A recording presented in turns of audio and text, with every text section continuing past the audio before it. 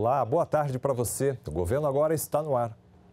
O presidente Jair Bolsonaro comentou hoje a alta no preço dos alimentos nos supermercados.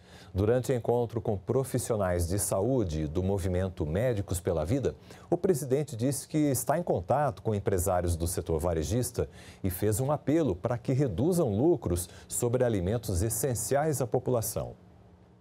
Tenho conversado com alguns dos dirigentes dos supermercados desde semana passada, o presidente da associação também dos supermercados, fazendo um apelo né, que nós criamos aí o auxílio emergencial para exatamente poder dar oportunidade para o pessoal que perdeu o emprego comer. E foram quase 40 milhões de informais e o lucro foi quase zero. Né? E se não fosse isso, poderiam ter problemas sociais seríssimos no Brasil.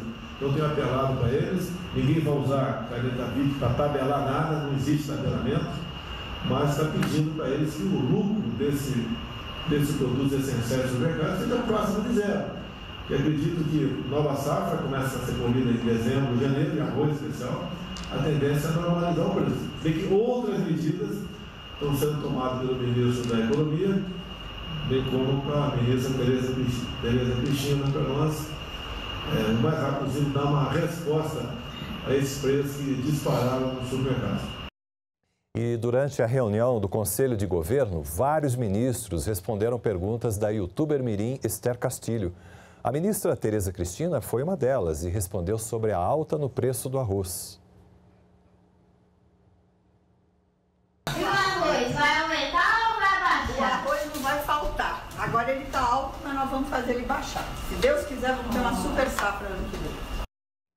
Ao falar sobre o gás, o ministro da Economia, Paulo Guedes, citou a nova lei do gás, que prevê alterações no setor, o que pode reduzir o valor final para o consumidor. Nós estamos aprovando a lei do gás natural. E aí vamos dar um choque de energia barata. Esperamos que o gás caia 20, 30% pelo menos.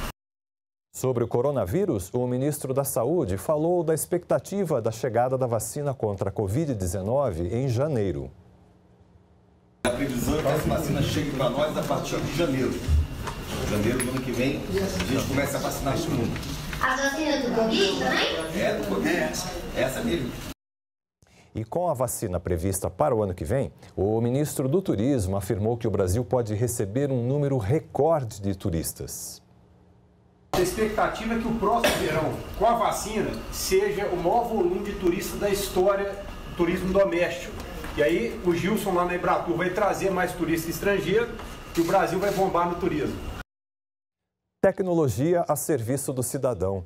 Em 20 meses, o governo passou dos 900 serviços digitalizados. Economia para os cofres públicos e praticidade para a população, que pode resolver tudo sem sair de casa, principalmente em tempos de pandemia.